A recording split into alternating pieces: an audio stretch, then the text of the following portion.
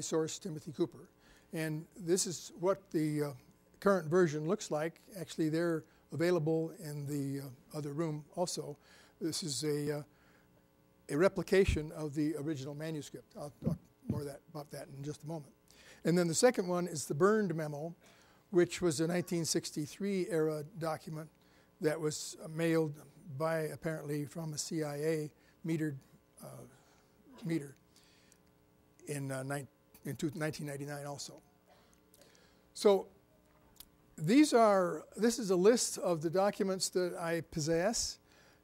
As you can see, there's uh, 104 of, of, uh, of them and nearly 4,000 pages.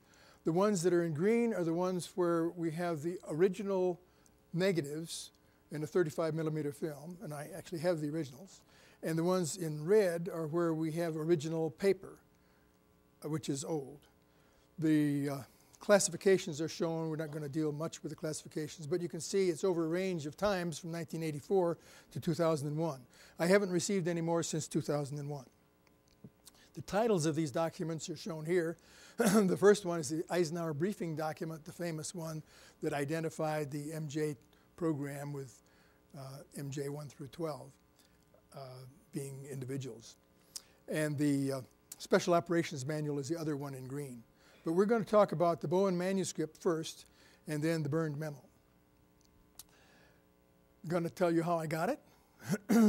Came in a 9 by 14 Jiffy mailer to Tim Cooper in June 1999.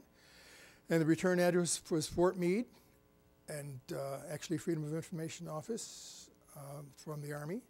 And uh, sheets were usually double spaced and single sided. This is one of, the, one of the sheets. The first page shows actually three addresses that Vernon Bowen, the uh, author, had. Uh, and the, uh, it shows the obvious red stamp. The, the stamp contains four uh, classification caveats. One of them is no foreign dissemination, which is a well known one. One of them is eyes only, which is also a standard one. And, and then, of course, the other two there are not uh, acceptable and known are top secret slash magic, which is the code word we'll talk about, and an errata, which probably means for original, originating agency declassification, declassification authority. Means that you can't declassify this ever. So the, the, uh, those three addresses gave me an easy trail to follow. Uh, I put up a call to put in a call to the church and said, "Oh yeah, I remember Vernon Bowen. He had a son, Patrick. You want his number?" So it's about as easy as you could run into in finding somebody. So I, I called him, told him I had this manuscript. He'd never knew of the existence of the manuscript, but he still had the typewriter. It was typed on. He was very cooperative. He wanted to see his dad book, dad's book published, and, and so that's why we made 200 copies, of, of which we have uh, 50 or so left, and they're, as they say, available. The appearance is old-looking pages. The watermark was there. The glue was dried. The clippings are loose, and the red and black caveat stamps I'll have an example of. And marginalia in different hands. Here's the way the clippings were fastened with old glue, and they just kind of faced, uh, fell off. But uh, Vernon Bowen is a very thorough guy. He had apparently spent nearly every noon hour in New York City Library looking up the Reader's Guide to Periodical Literature and captured every single entry having to do with flying saucers up till the time when he stopped in 1954. So, what does this book say? Well, actually, he's a good writer. He, he, he wrote children's books, but he was he has a he has a natural style. He uh, it's kind of gripping, going from chapter to chapter. So the chapters are 15 chapters. He begins really with the same sort of flavor that you just heard from Jerome Clark. He talks about the things that Charles Fort reported that are anomalistic phenomena. And, and then finally, in the middle of it, he, he talks about flying saucers, it gives a report on, on every periodical and every sighting up to that point that was in the public literature. Then, when he comes to chapter 12, the U.S. Air Force and flying saucers, it turns out that's when the, the stamps on this document changed from confidential to top secret slash magic. And so clearly the Air Force was looking this over to determine whether or not there was something important here, and they didn't. They classified it before they decided. Of course, they do that.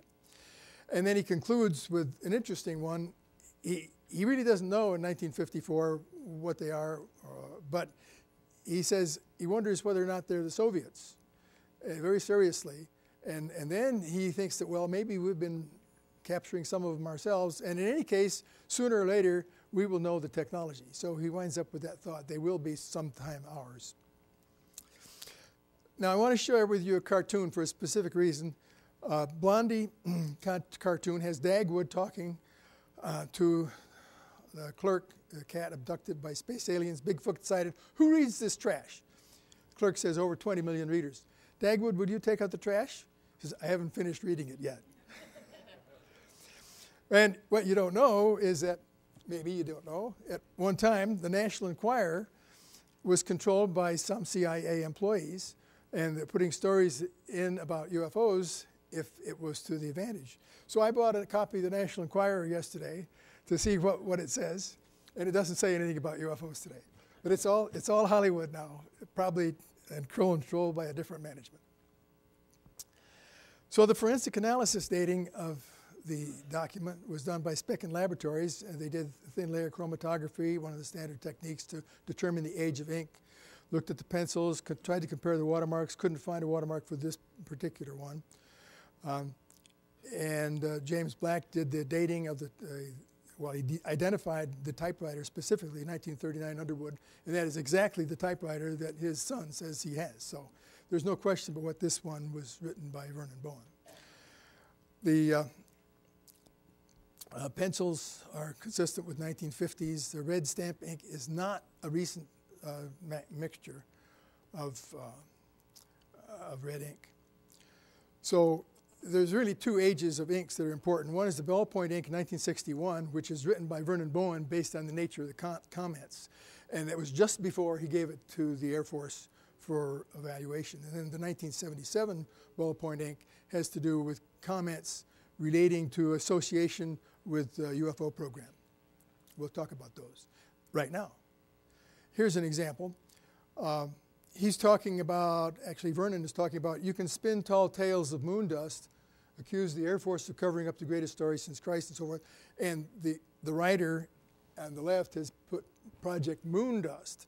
Well, it turns out Project Moondust is a project that is, is classified, but generally it's been identified as a recovery program to, for any, if any vehicle crashes and uh, we'll go recover it. And, and of course, the Moondust Recovery Program has allegedly a top secret version which is recovering UFOs as opposed to just ordinary satellites that are crashing. This particular page is interesting because it's got one of the original stamps. That blue stamp makes this very authentic with respect to Air Force use. And the uh, handwritten information there says, do not withdraw from files personal notes of Colonel Hayward. And the file of ATIC, ATC, APBPR, UFO section, these are identification of the uh, organizations at Wright-Patterson uh, that dealt with UFOs. Uh, another interesting one was a comment in the book that a Harvard professor is telling his classes he can prove that there are people on other planets. And one reviewer said, well, it's a highly dubious source of information, Dorothy Kilgallen. But the other one says, what is DM doing?